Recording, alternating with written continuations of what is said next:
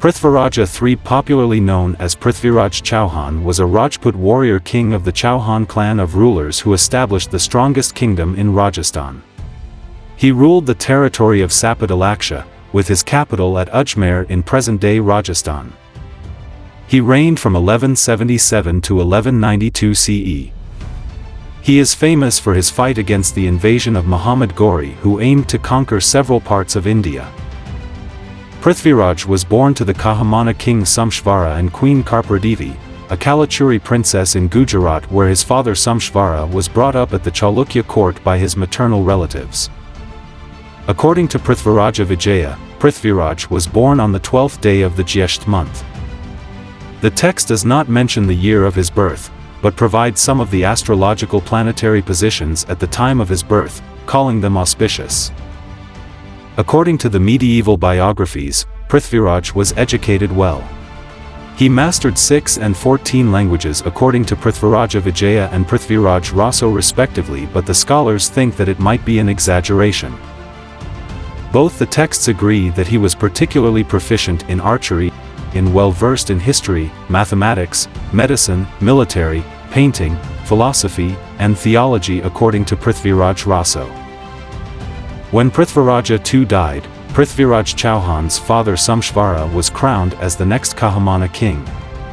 It was at this time Prithviraj went from Gujarat to Ajmer. When Prithviraj was around 11 years old, Samshvara died in 1177 CE.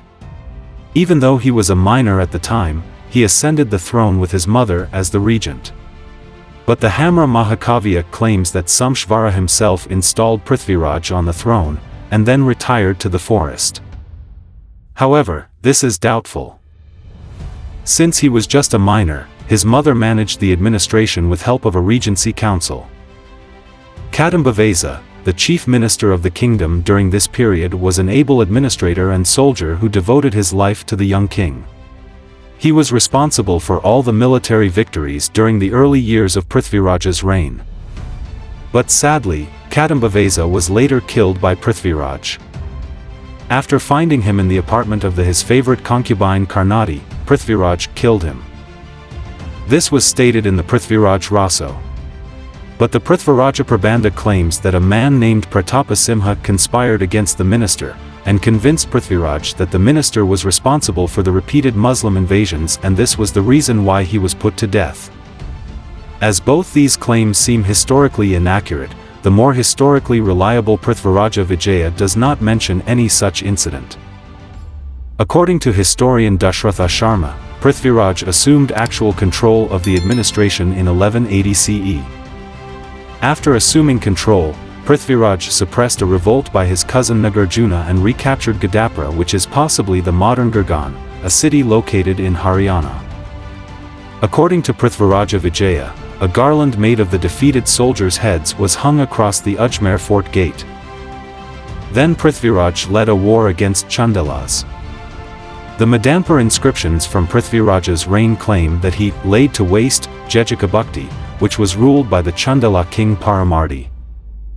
Prithviraj's invasion of the Chandela territory is also described in the later folk legends, such as Prithviraj Raso, Paramal Raso, and Alharaso. Sometime before 1187 CE, the Chalukya king of Gujarat, Bhima II and Prithviraj were at war. Prithviraj Raso provides some details about the Chahamana Chalukya struggle. According to it, both Prithviraj and Bhima wanted to marry Ichchini, the Paramara princess of Abu. But Prithviraj however, married her and that was the cause of the war between those two kings. G. H. Ojha treat this account as historically unreliable. The Raso also mentions that Prithviraj's uncle Kanhadeva had killed seven sons of Bhima's uncle Sarangadeva. Bhima invaded the Chahamana kingdom to avenge these murders and killed Prithviraj's father Samshvara, capturing Nagar in the process. Prithviraj recaptured Nagar and defeated and killed Bhima. The various historical evidence suggests that the reign of Bhima II lasted nearly half a century after Prithviraj's death and that Bhima II was a child at the time of Samshvara's death, and therefore, could not have killed him, tells us that the Raso account is historically false. Despite these discrepancies, there is some evidence of a battle between the Chahamanas and the Chalukyas at Najar. Two inscriptions found at Charla village near Bikaner commemorate the death of Mohil soldiers at the Battle of Najar in 1184 CE. The Mohils are a branch of the Chauhans and it is possible the inscriptions refer to the battle described in Prithviraj Raso. Partha Parakramavaya Yoga, a text written by the ruler Dharavarsha, Chandravati Paramara, describes Prithviraj's night attack on Abu. This attack, according to the text, was a failure for the Chahamanas. It probably happened during the Gujarat campaign of Prithviraj. In the course of his aggressive campaigns, Prithviraj came into conflict with Jayachandra, the Gahadavala ruler of Kannauj. According to a legend mentioned in Prithviraj Raso, Prithviraj fell in love with Jayachandra's daughter, Samyogita which led to a rivalry between the two kings. Prithviraj refused to participate in the Rajasuya ceremony conducted by King Jaichand or Jayachandra and refused to acknowledge him as the supreme king. Jaichand's daughter Samyogita fell in love with Prithviraj after hearing about his heroic exploits, and declared that she would marry only him. A Swayamvara ceremony for his daughter was held by Jaichand, but he did not invite Prithviraj. A Swayamvara ceremony was a ceremony where various kings and princes are invited by a king whose daughter would choose a king or prince present there to be her husband. Since he was not invited, Prithviraj marched to Kannauj with a hundred warriors and eloped with Samyogita. Two-thirds of his warriors sacrificed their life in fight against the Gahadavala army, allowing him to escape to Delhi with Samyogita. In Delhi, Prithviraj became so obsessed with his new wife that he started spending most of his time with her. He started ignoring the state affairs, which ultimately led to his defeat against Muhammad Ghori. Prithviraj's predecessors had faced multiple raids from the Muslim dynasties that had captured the northwestern areas of the Indian subcontinent by the 12th century. By the late 12th century, the Ghurid dynasty controlled the territory to the west of the Chahamana kingdom.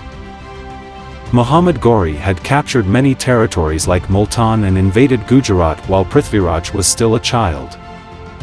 The power of the Ghurid army never stopped growing and Muhammad Ghori is considered as one of the important figures who paved the way for the start of Muslim rule in India. Prithviraja Vijaya mentions that the activities of the Ghurid army were like Rahu to the Chahamana kingdom. In Hindu mythology, Rahu swallows the sun which had caused a solar eclipse. Muhammad later shifted his base from Ghazna to Punjab, and made attempts to expand his empire eastwards, which led to a conflict between him and Prithviraj. Muhammad sent an ambassador to Prithviraj, asking him to abandon belligerence and pursue the path of rectitude. Prithviraj rejected the proposal and thus Muhammad decided to wage a war against Prithviraj. The medieval Muslim writers mention only one or two battles between the two rulers. However, the Hindu and Jain writers state that Prithviraj defeated Muhammad multiple times. The First Battle of Tarain During 1190 to 1191 CE, Muhammad Ghori invaded the Chahamana territory and captured Tabarhinda. On hearing this, Prithviraj marched towards Tabarhinda with his feudatories, including Govindaraja of Delhi. His army comprised of 200,000 horses and 3,000 elephants.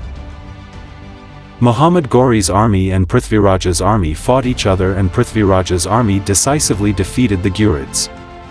Muhammad Ghori was injured and forced to retreat.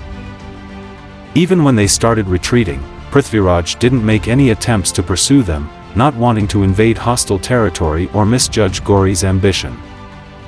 Tabarhinda went back to the control of Prithviraj. The Second Battle of Tarain After the first battle, Prithviraj made only little preparations for any future clash with Muhammad of Ghor and spent most of his time in doing other things, neglecting the affairs of the state. But Muhammad Ghori didn't waste his time. He wanted to avenge his defeat. So he gathered a well-equipped army of 120,000 select Afghan, Tajik and Turkic horsemen over the next few months of the first battle. With the help of Vijayaraja of Jammu, he marched towards the Chahamana kingdom via Multan and Lahore. Because of his wars against many neighboring Hindu kings, Prithviraj didn't have any allies he could count on. Nevertheless, he managed to gather a large army to counter the Ghurids which comprised of over 100 Rajput rulers, war elephants, cavalrymen and foot soldiers. Prithviraj wrote a letter to Muhammad Ghori stating that no harm would come to him and his army if he decides to return to his own country. He agreed to a truce until he received an answer from his brother. He then planned an attack against the Chahamanas. After a bloody battle between them, the Chahamanas started to lose the battle. Prithviraj himself tried to escape on a horse, but was pursued and caught near the Sarasvati fort according to Taj al-Masir. Other texts like Prithviraj Raso and some Jain texts have different takes on the downfall of Prithviraj. Most medieval sources state that Prithviraj was taken to the Chahamana capital Ajmer, where Muhammad planned to reinstate him as a Ghurid vassal. Sometime later, Prithviraj rebelled against Muhammad, and was killed for treason. Various coins were found bearing the names of both Prithviraj and Muhammad which serves as an evidence to this theory. After Prithviraj's death, Muhammad installed Prithviraj's son Govindaraja on the throne of Ajmer which further supports this theory.